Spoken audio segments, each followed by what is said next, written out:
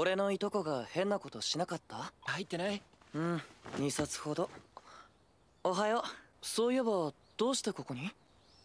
せっかくだから一緒に学校行こう。美目秀麗な相馬由紀くんは1年生ですでに学校一の王子様的存在なのです。この前なんて2年の女が告白ついでに抱きつこうとしたら。今朝はどうもです。こちらこそしぐれが迷惑かけちゃって数詞や時計として使われその後引用語行や創生総国が取り入れられて吉凶を占うものになったんだ。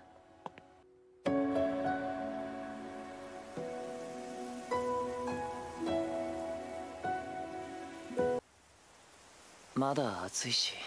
作ったって文句言うじゃないか君は。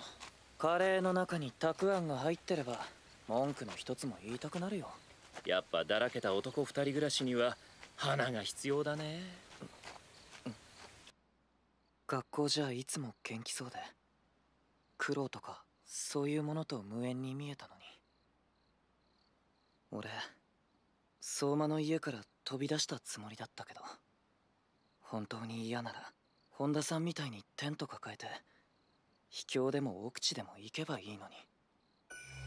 誰に向かって言ってるのさ。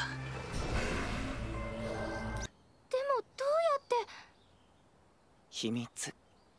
汚い家だけどちょうど2階に部屋が空いてるし本田さ迷惑なんて思ってないから甘えてよ。この家で。大丈夫だよ。弱いんだから。ゆうきくんもしかして今日が来た？